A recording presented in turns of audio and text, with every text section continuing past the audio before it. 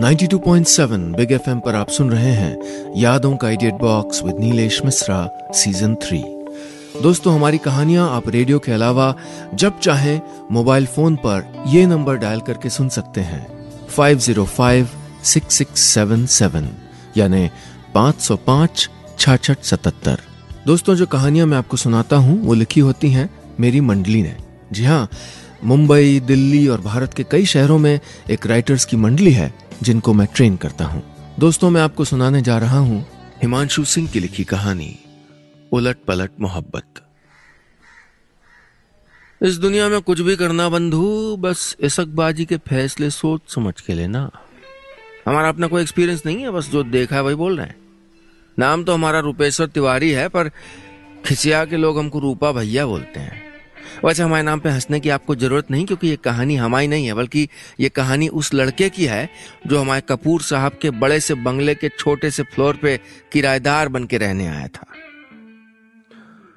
बताया जाता कि कपूर साहब ने पहले फैसला किया था कि अपना ऊपर वाला फ्लोर सिर्फ़ लड़कियों को ही देंगे, पर महीनों से खाली पड़ा फ्लोर और ऊपर से उनके गाँव के पास से इस शहर में पढ़ने आए लड़के के आगे कपूर साहब को अपना खुद से किया कमिटमेंट याद आ गया। पर अपने आप से किए कमिटमेंट के वो आगे किसी की सुने ना सुने, अपने आप की ज़रूर सुनते थे। उन्होंने कमिटमेंट भी तोड़ दिया और उस लड़के यानी रोहित को रहने के लिए कमरा भी दे दिया। हम भी कपूर साहब के साथ ही काम करते थे। वैसे तो साहब हमको नौकर मानते थे, पर मोहल्ले के आसपास के सारे दुकानदारों को हमने कहा था कि हम कपूर साहब के मैनेजर हैं। हमारा काम भी तो ऐसा था। किराएदार लाने से लेके उनसे किराया वसूली, मकान की देखभाल ऊपर से कपूर साहब का फर्निश फ्लोर मतलब टीवी, फ्रिज, एसी, चूल्हा, सब मालिक का ही होना था। इसलिए जब ये सारे उपकरण अपनी सेवाएँ देना बंद कर देते थे तो भगवान विश्वकर्मा का नाम लेके हम ही इन सबको चालू किया करते थे। अरे, थोड़ा जुगाड़ टेक्नोलॉजी तो हम भी सीख के आए थे ना अपने इलाहाबाद से। तो बोले, हुआ ना ये मैनेजर वाला काम, है? रोहित रहने को तो अकेला आया था वहाँ पे। बाद में जब उसके कॉलेज के दोस्त नीरज को कहीं सस्ता कमरा नहीं मिला तो कभी कभी वो भी यहीं आके पसरने लगा। धीरे धीरे वो एक से दो और दो से चार हो गए। नहीं नहीं, वो वैसे नहीं। मेरा मतलब चार दोस्त आके उसी ऊपर के फ्लोर के कमरे में चाय पीते थे। कपूर साहब ने पहले तो रोहित को कोर्ट मार्शल करने का मन बना लिया, लेकिन रोहित को पैरी पौना करने का शौक था ना, और कपूर साहब को दानवीर करण बनने का। चारों को उस बंगले की सबसे ऊपर की छत वाली फ्लोर पे पार्टी करने की जगह मिल गई थी।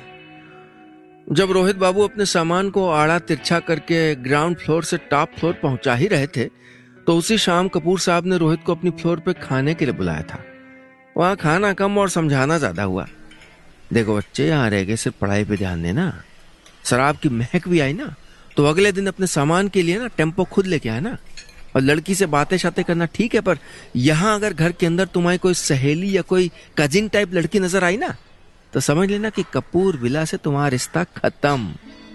और अगर कोई दिक्कत हो तो ये रूपा है ना, उसको बता देना। उस शाम रोहित ने कपूर साहब की सारी शर्तें सुनने के बाद हामी भरी और ऊपर निकल लिए। हम भी सामान सेट करवाने के लिए उनकी मदद करने ऊपर पहुँचे तो देखा कि वो लंपट कुछ और ही सेट करने के लिए छत पे खड़ा है। उसके दोस्त रोहित से इस बात पे मज़े ले रहे थे कि उसने जन्नत के ठीक सामने वाला फ्लोर लिया है। जन्नत यानी lovely girls hostel. 92.7 big FM पर आप सुन रहे हैं यादों का idiot box with Nilesh Mishra, season three. दोस्तों, रेडियो के अलावा आप हमारी कहानियाँ जब चाहे मोबाइल पर ये नंबर डायल करके सुन सकते हैं। पाँच सौ पाँच, छाछठ सतहत्तर, five zero five, six six seven seven. दोस्तों, मैं आपको सुना रहा हूँ अपनी मंडली के सदस्य हिमांशु सिंह की लिखी कहानी, उलट पलट मोहब्बत। इस कहानी में अब तक आपने सुना, शहर के कॉलेज में पढ़ने आए रोहित को कपूर विला के टॉप फ्लोर पे कमरा मिल जाता है। कपूर साहब का नौकर रूपेश्वर बताता है कि रोहित और उसके दोस्त सामने बने गर्ल्स हॉस्टल को देख के कुछ ज़्यादा ही खुश हो गए थे। अब आगे।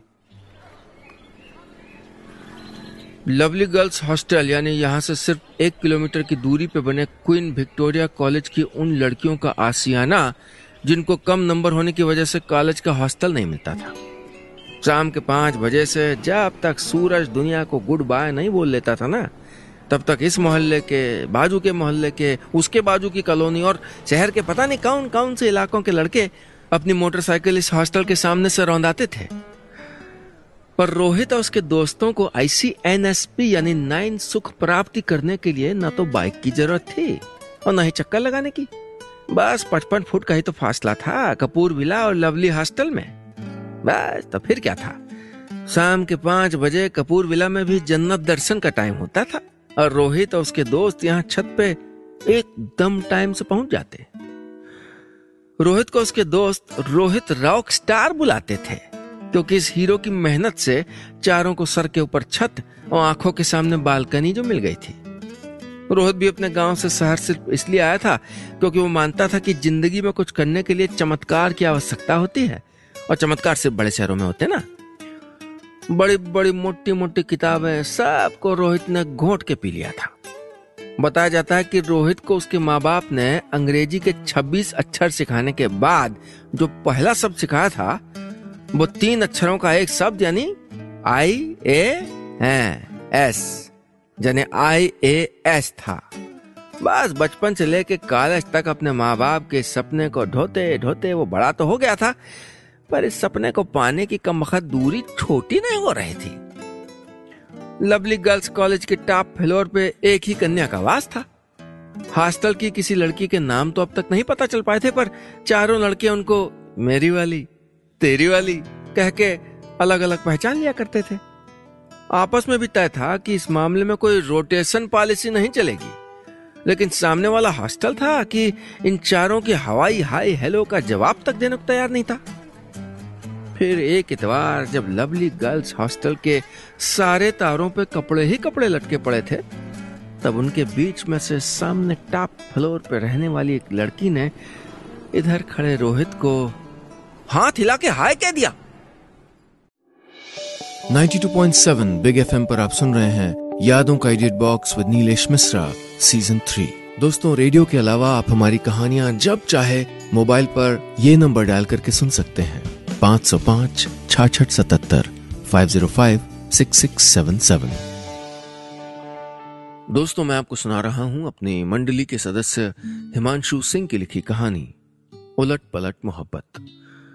इस कहानी में अब तक आपने सुना, कपूर विला के टॉप फ्लोर पर रहने वाले रोहित और उसके दोस्त सामने बने लवली गर्ल्स कॉलेज की बालकनी में लड़कियों को देखते रहते थे। एक दिन सामने वाली बालकनी से ही एक लड़की ने रोहित को हाय बोल दिया। अब आगे।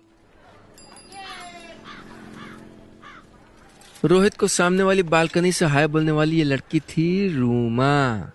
हाँ नाम से तो रोमांटिक लगती थी पर वास्तव में ना, पूरी भन्नाट मतलब ऐसी कि कोई लड़का जरा चू भी कर दे ना तो मैडम सीधे गाल पे धर दे।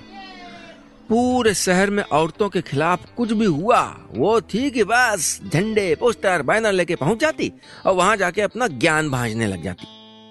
थाने से लेके महिला आयोग और तमाम एनजीओ से लेके महिला मोर्चा में अपनी रूमा रानी का नाम चलता था।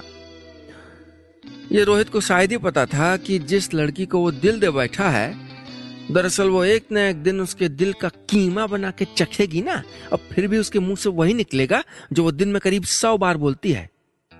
This is too male chauvinistic एक दो बार हमने रूमा को उसके इस झांकी मंडप के लिए टोका था।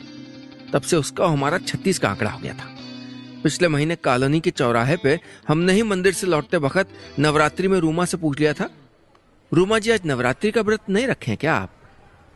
नहीं रूपा भैया, मैंने नहीं रखा। हम लड़का होके रखे हैं। आप तो लड़की हैं। आपको तो रखना ही चाहिए था ना? हमने कहा, बस आपकी इसी सोच को बदलने के लिए नहीं रखा, समझ लो। पास खड़े गिरेवाल साहब, टीनू बारबर और हमारे गाँव का योगेश सब मिलके हंस दिए थे हम पे उस दिन। एक लड़की से उल्टा जवाब सुनने के बाद हमारे अंदर गुस्से का बीज पनपने लगा था तब से। हम भी उस शाम उस हीरोइन से क्या बोलते हैं? बस जान गए कि भगवान रामचंद्र ने इसको गलती से कन्या बना दिया, बस। फिर रूमा और रोहित की हवाई हायबाजी तेज हो गई और अगले दो हफ्तों तक हम कागज़ की गेंदों को इस बालकनी से, उस बालकनी और उस बालकनी से, इस बालकनी तक उड़ता ही देखते रहे। अब तो सोचा लिया था कि रोहित को कम से कम सलाह तो दे ही दें कि भैया, फ़ैशन के इस दौर में गारंटी की इच्छा ना करें। सुबह सुबह जब पानी की मोटर चलाने उनके कमरे में पहुँचे तो उनको बोल दिया हमने, रोहित भैया, ये दांव भारी पड़ेगा। क्या मतलब? अरे भाई जो सामने वाली के साथ चिट्ठियों का बैडमिंटन खेल रहे हो ना, वो लड़की ठीक नहीं है। पहले बता रहे हैं आपको। कभी आँखों का एंगल डाउन भी तो कीजिए ना। थर्ड फ्लोर वाली सबीना को सब कटरीना बोलते हैं। चेहरा तो अच्छा है ही। हिंदी भी पूरा अंग्रेज़ी में बोलती है वो। है पता नहीं है रूमा कब किसी महिला मोर्चे वालों को आपके पीछे लगा देगी और आप पहुँच जाएँगे थाने। मतलब? मतलब क्या, रोहित भाई? आप एक महिलावादी से मोहब्बत कर बैठे हैं। फेमिनिस्ट ओ, ये तो अच्छा हुआ जो आपने बता दिया, रूपी भैया। मैं अभी नारी सशक्तिकरण पे तीन चार कविताएँ कागज़ पे लिख के उसकी बालकनी में फेंक देता हूँ। रोहित ने कहा, एक और बार हमारे मन में वही पुराना वाला ख्याल आया।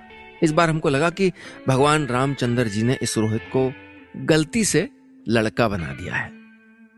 अबला, सबला, महिला जैसे शब्दों से सजी कविता को चिट्ठी में लिख के कागज़ की गेंद बना के रोहित बाबू ने सामने वाली बालकनी में फेंक दिया।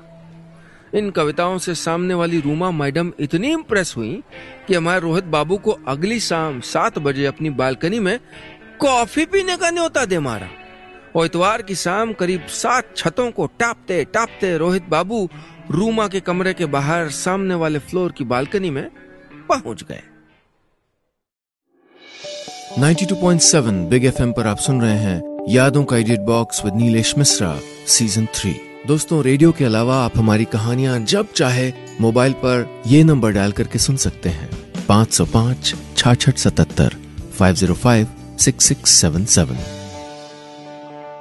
दोस्तों, मैं आपको सुना रहा हूँ अपनी मंडली के सदस्य हिमांशु सिंह की लिखी कहानी, उलट पलट मोहब्बत। इस कहानी में अब तक आपने सुना, आमने सामने रहने वाले रोहित और रूमा एक दूसरे से इशारों में बात करते रहते हैं।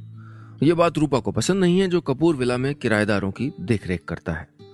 वो रोहित को जाके बता देता है कि रूमा मर्दों से नफरत करती है।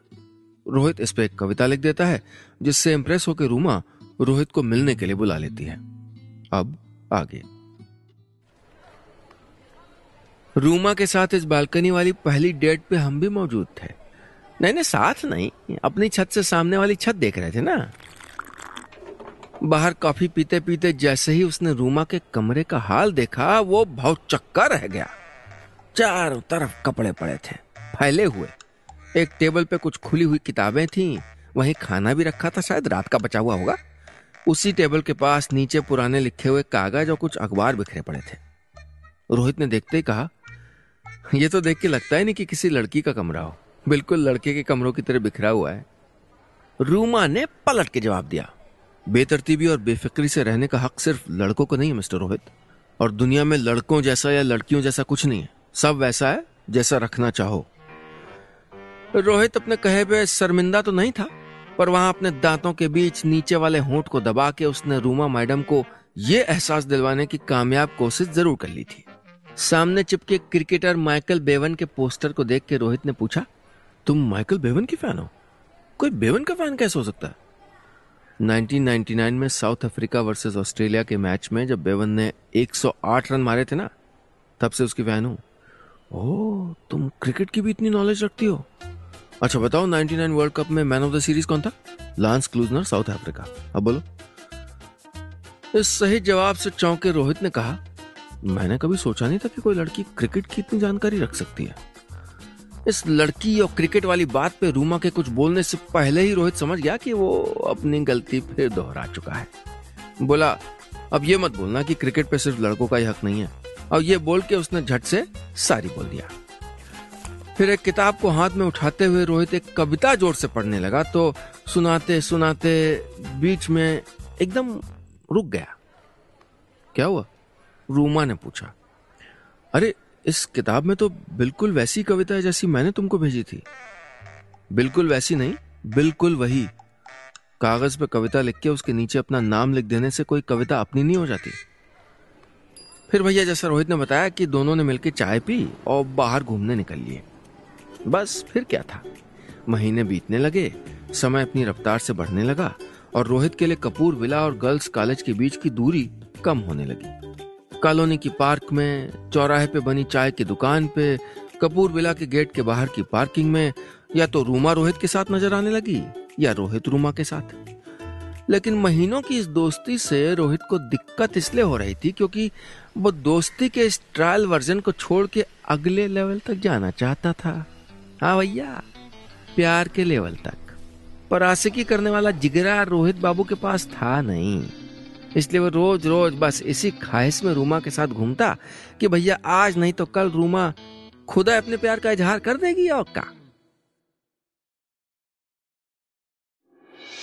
92.7 बिग एफएम पर आप सुन रहे हैं यादों का idiot box with Neelesh Misra, season three.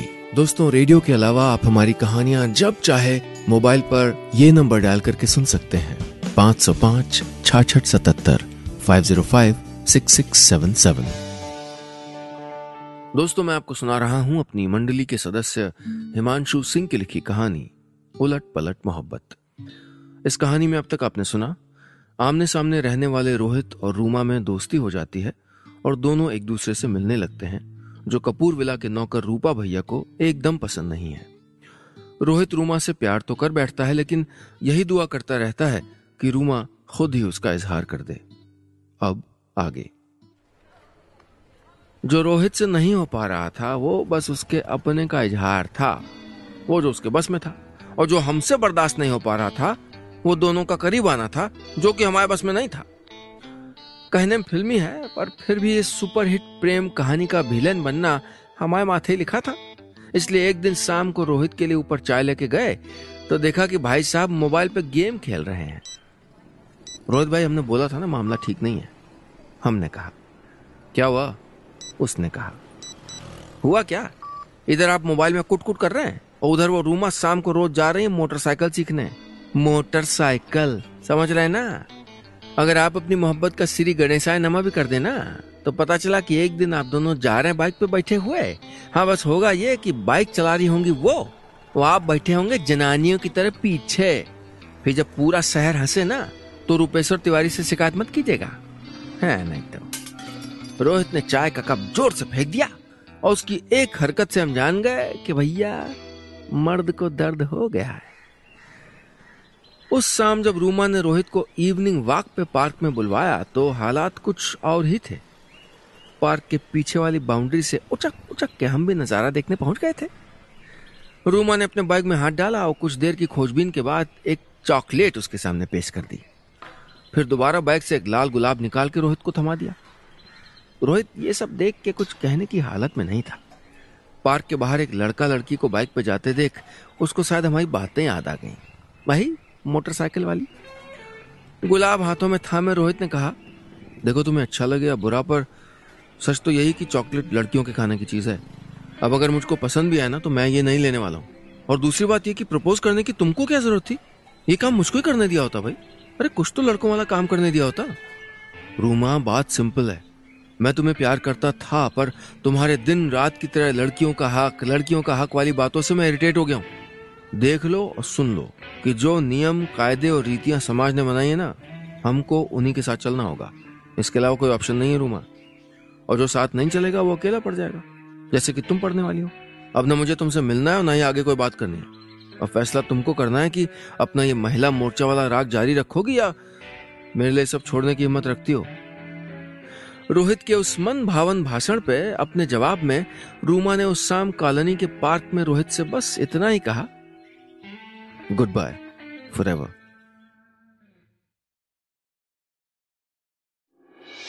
92.7 big FM पर आप सुन रहे हैं यादों का idiot box with Neelesh Misra season three दोस्तों, रेडियो के अलावा आप हमारी कहानियाँ जब चाहे मोबाइल पर ये नंबर डायल करके सुन सकते हैं।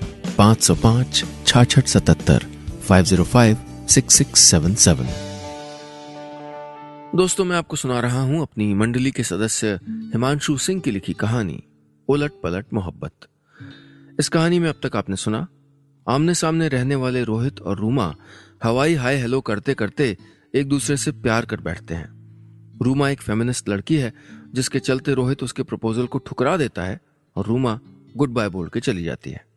इससे सबसे ज़्यादा खुशी रूपेश्वर को होती है जो रोहित के कमरे की देखरेख करता है। अब आगे।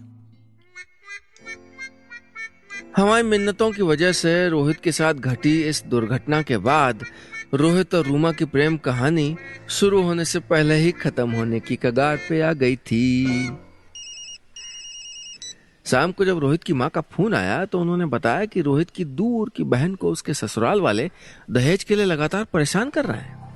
ये सुन के उसको गुस्सा आया, पर फिर रोहित को अपनी रीति, समाज, इनके साथ चलने वाली बात याद आ गई। वही, जो उसने रूमा मैडम को समझाई थी। अपनी इसी बात को याद करके वो माँ से आगे कुछ कहने की हालत में तो था नहीं। पर माँ थी कि शहर आए अपने होनहार, अकलमंद सुपुत्र से कुछ मदद की उम्मीद कर रही थी। उस शाम हमारे रोहित बाबू के नैनों से भी गंगा, जमुना बह लिए। हमने उनसे कहा कि क्या लड़कियों की तरह रो रहे हैं रोहित बाबू? तो उल्टा हमें चिल्ला दिए। रोता इंसान है रूपा भैया। लड़का या लड़की के रोने जैसा क्या होता है? उस शाम रोहित बाबू ने हमको एक क्रिकेट की मैगजीन लाने को कहा। हमने जब उनको कहीं से क्रिकेट खिलाड़ियों की तस्वीरों से पटी किताब लाके दी तो उसको लेके पहुँच गए फिर से लवली गर्ल्स हॉस्टल। इस बार बालकनी में नहीं, सीधे मेन गेट के बाहर। रोहित बाबू ये इंतज़ार कर रहे थे कि रूमा जी काफ़ी का मग हाथ में लेके बालकनी में आ जाए। लवली गर्ल्स हॉस्टल के गेट पे जब रोहित बाबू ऊपर वाली फ्लोर की ओर नॉन स्टॉप नज़र गड़ाए थे, तब एक भारी ब्रेक की आवाज़ के साथ उनके बगल में एक बाइक रुकी। वो मोटरसाइकिल रूमा चला रही थी। हाँ क्या कहना बोलो? रूमा ने पूछा। रोहित ने क्रिकेट वाली मैगजीन रूमा की ओर बढ़ाते हुए कहा, क्रिकेट और बाइक्स पे सिर्फ़ लड़कों का अधिकार नहीं है। मैं कल के लिए माफ़ी मांगने आया हूँ। शायद तुम्हारे ज़रिए ही सही पर मुझको एहसास हो गया था कि दिन भर न जाने कितनी बार हम नहीं बोल रहे होते, बल्कि हमारे अंदर बैठा पुरुष बोल रहा होता है, जो तय कर चुका होता है कि कौन सा काम लड़कों जैसा है और कौन सा लड़कियों जैसा। This is just too am really sorry साढ़े तीन सेकेंड हाँ बस इतने ही लगे उस कमबख्त को भौए ऊपर करके रोहित की आँखों में आँखें डाल के मुस्कुराते रहने में। नहीं तो। फिर एकदम रोहित से बोली वो चॉकलेट अभी भी बैग में रखी है। मुस्कुरा के रोहित ने रूमा को क्रिकेट की मैगजीन दी और रूमा ने चॉकलेट। इधर दोनों पिघली हुई चॉकलेट निगलने लगे और इधर हम अपना गुस्सा। फिर रूमा मैडम ने ज़ोर से बाइक को किक मार के स्टार्ट किया और वहाँ से चल दी। नहीं नहीं नहीं नहीं, अकेले नहीं। वो आगे बैठ के बाइक चला रही थी और पीछे बैठे थे हमारे रोहित बाबू। हाथों को फैलाए हुए, हवा में अपनी जुल्फें लहराए हुए बिना किसी शर्म के। बस इतनी सी थी ये कहानी। हाँ नहीं तो।